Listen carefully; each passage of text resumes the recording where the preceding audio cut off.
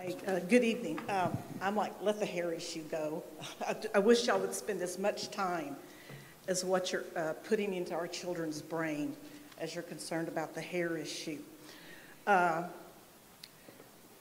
as far as integrity and transparency in a school district, that's what I require as a taxpayer, and I am a taxpayer here. Over the last few years, we've had a fake invoice to cover up an elected official's abuse of power.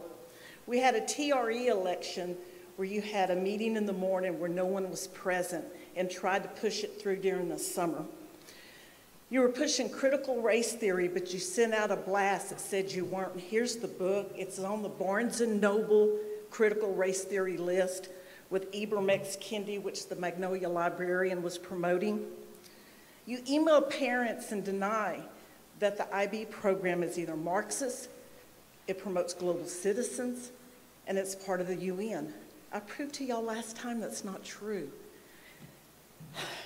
This week I find, or last week I find, the IB Texas schools resources for parents, I mean teachers, filled with communist Howard Zinn's resources.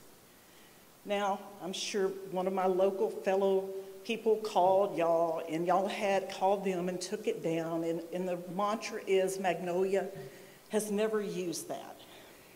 Well, there's really no way of knowing, though I do know one teacher has had mock UN programs, and she promotes population control.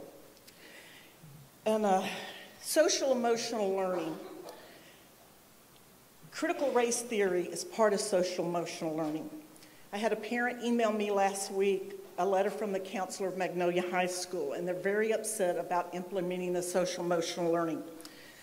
The Republican Party passed another resolution against social emotional learning, and it's to accomplish the fourth goal of the United Nations Sustainable Development Goals.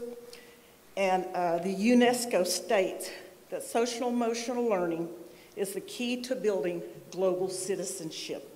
Y'all have implemented is it character strong, and I'll do some more research on that. But I'll find a way to get this resolution out to the taxpayers. Now, as far as honesty again, here's two applications for Magnolia West Magnolia High School for the IB program. On one application, you state the formal presentation of the findings from the feasibility study was presented to the board, and the board agreed to the funding.